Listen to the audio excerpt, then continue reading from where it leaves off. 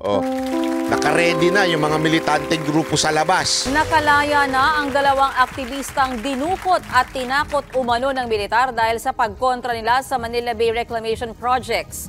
Kasabay niyan, nagkagirian kanina ang mga pulis at mga militanteng grupo. Nasa frontline ng balitang yan si Brian Basa. Hinarangan kanina ng mga nakabarikadang pulis ang mga rallyistang gustong makapasok sa munisipyo ng Plaridel, Bulacan. Palayain sila!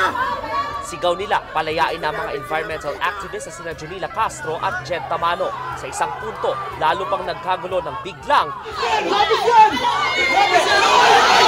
sinapak sa mukha ng isang pulis ang isang babaeng rallyista. Tingnan ninyo, ano ang sinabi ng media? Sinapak ng pulis.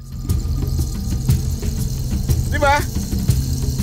Eh, Sinabi ba ng media na nanggulo muna ito mga to? Na nag-provoke muna sila bago sila sinapak? Kita ninyo ha, nagkakagulo yan eh. Oh, oh. Punto, lalo pang nagkagulo ng biglang Oh. Bago naman nagkakagulo eh. Kasi nga ugali nila yan eh. Ugali ng mga aktivista na yan na manggulo.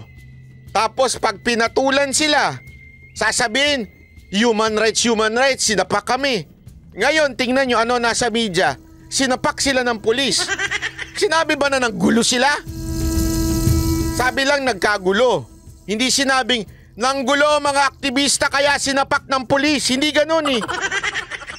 Ganyan sila mga kaulol yung mga yan. sinapak sa mukha ng isang pulis ang isang babaeng rallyista.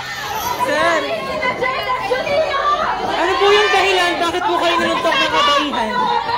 Alam nyo kawawa ito mga to. Alam nyo ba ito yung mga na, napag-alaman ko. Ah, usually daw yung mga ganyan, yan yung mga OJT pa lang. Hindi pa yan talaga mga mga PO1, hindi pa. Although meron ding mga nilalagay na ganyan, na PO1 may mga nilalagay. Pero usually daw mga OJT pa. Kawawa naman ito mga to. Isipin nyo. Sir, next time kasi, karayom lang ang dalin mo. De, joke lang.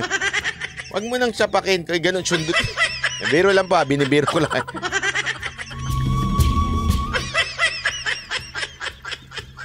Tingnan nyo, sila ba ang biktima? Sila na nga ng gulo? Habang nagkakagulo sa labas, iniharap naman sa media ng National Task Force to End Local Communist Armed Conflict o NTFL-CAC sila Castro at Tamano. Sa gitna ng press con, harap-harapang kinontra ng dalawa ang anilay pinalalabas ng militar na kusa silang Sabi naman nito ni Sarapot, Piling ko sir, sinasadya nila paguluhin ng Pinas para mag-martial law at mahawakan nila ang kapangyarihan. Ako, ay, hindi ako dyan. Bakit? Nahahawakan naman nila yung gobyerno without the martial law. Sa totoo lang ha, wag na ho tayong magpaikot-ikot. Nahawakan naman nila eh. Hawak nila budget, hawak nila lahat. Hindi na nila kailangan ng martial law to do it. Hawak nga nila justice system eh. Isipin mo kahit hindi terorista, tinawag na terorista. Oh, yung isa kahit hindi kriminal, ginawang kriminal. 'Di ba? They do not need martial law. They're doing it now. sumuko. Ang totoo po eh, dinukot kami. Mga So planadong planado eh. May makikipaggulo sa labas. Tingnan ninyo, kasunod din to ha. Oh, di ko na ulitin. Tingnan nyo, paglabas nila, mga bayani pa, mga siraulon to eh. Totoo lang. bayani pa sila ha. Kasunod ng mga pagsisiwalat na yan ng dalawang O aktivista. tingnan nyo, di bayaning bayaning dating nila ngayon.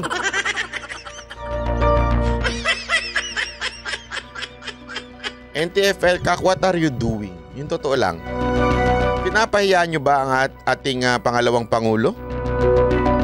O sadyang nahaluan kayo ng mga walang ah, utak at puro atay dyan? Hindi, yung totoo ha, NTFL kak, ano ba? Wala na ba? Nasunog na ho ba yung mga utak ni dyan? At naging atay na lang? Hindi nyo malang naisip na kayo ay pina, pinasakay niya mga yan? Ano ba to? Na, nabihag din kayo sa ganda nila? Hindi, tandaan ninyo, planado yung mga yan. Yung itsura mukhang inosente, itsura babae, para to penetrate. Isipin nyo, they penetrated the government in a very, very, very shrewd way. Na-penetrate nila. Hindi maganda, pero hindi naman mukhang hindi, hindi ko sinasabi ha. Wala ko sinasabing maganda sila. Pero hindi naman po sila mukhang mga NPA ang dating, di ba? Hindi naman no, hindi mukhang ganun. Pero alatang ano eh, nabola nila eh. Nakapasok sila sa loob. Dinala sila ng lokal na pamahalaan ng Plaridel, Bulacan sa tanggapan ng Commission on Human Rights. Doon, pinalaya sina Castro at Tamano. Oh, nangitian lang sila ng ganun.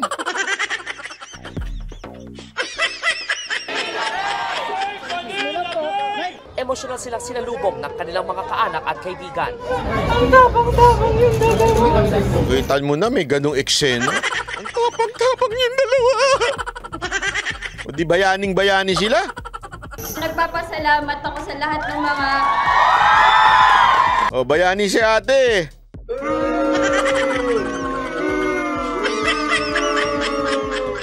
Bayani na si ate courtesy of NTFL ka.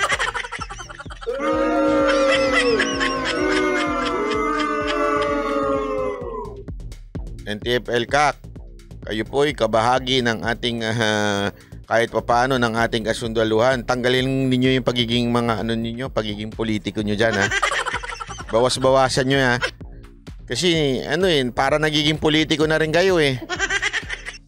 naghanap sa amin. Alam namin na meron kaming mga kasama sa labas na ipaglalaban kung ano yung totoong nangyari.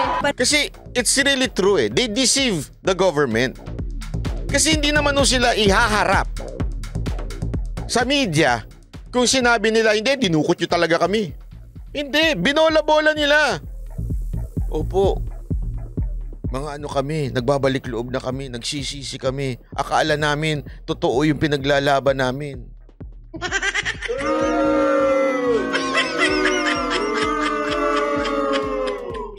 Nawagan din namin ay ilitaw din ang iba pang mga in- um, na, um, enforced disappearances na alam naman natin kung saan O, tingnan nyo na, di para nyo sinabing, ito na nga yun, eh, sabi ko, they made the point, di ba? They, they, they made the point na ang dating, parang ugali na ng gobyerno mandukot na mandukot.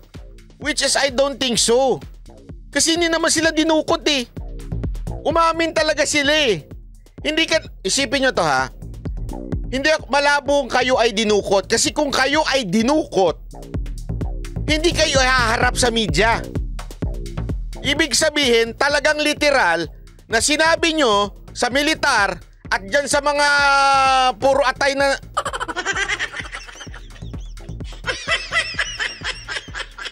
na NTFL kak na talagang nagbabalik loob kayo. Kaya nga kayo iniharap eh. I don't think they're stupid para iharap kayo nang alam na dinukot sila. Siyempre pag dinukot mo, ihaharap mo ba? Pag kinidnap mo, ihaharap mo ba? Di ba hindi?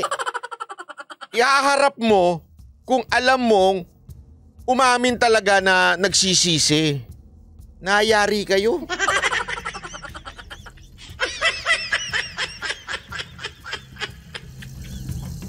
Di ba? Sino nagsabi muntik pang madulas serbay, muntik mabanggit na palayain na din ang ibang oo, ano sinabi ba? Namin na meron kaming mga kasama sa labas na ipaglalaban kung ano yung totoong nangyari. Tuwan-tuwa si ate. oh. Trending na siya. nawagan din namin ay ilitaw din ang iba pang mga in- um, na, Muntik na, muntik na. Ilitaw din ang mga N... Saba, saba, saba, saba. Muntik ka na. Laban kung ano yung totoong nangyari. panawagan din namin ay Ano? ilitaw din ang iba pang mga in- um, Ah, ah, mga iba pang, ano, iba pang, N... N... N... Muntik na madula si ate. na um, enforced disappearances na alam naman natin Naku, kung Naging enforced this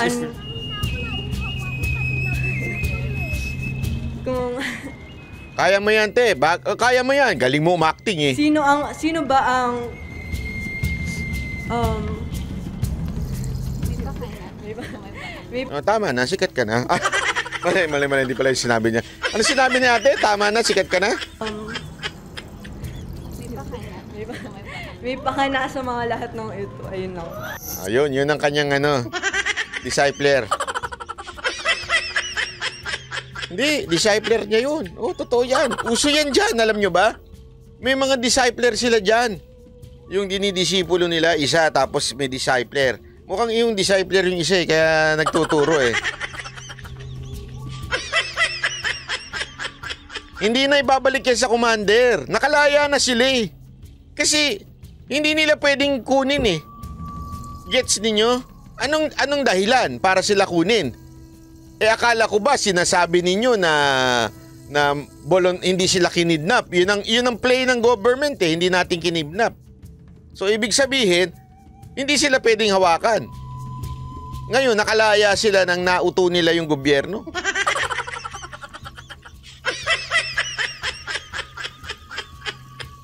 Ay nako, ayaw ko ba? Sa totoo lang, sana maging lesson ito sa NTFL Cup. Hindi kayo mga politiko. Itigil-tigil nyo yung pagpaepal sa, sa presscon presscon.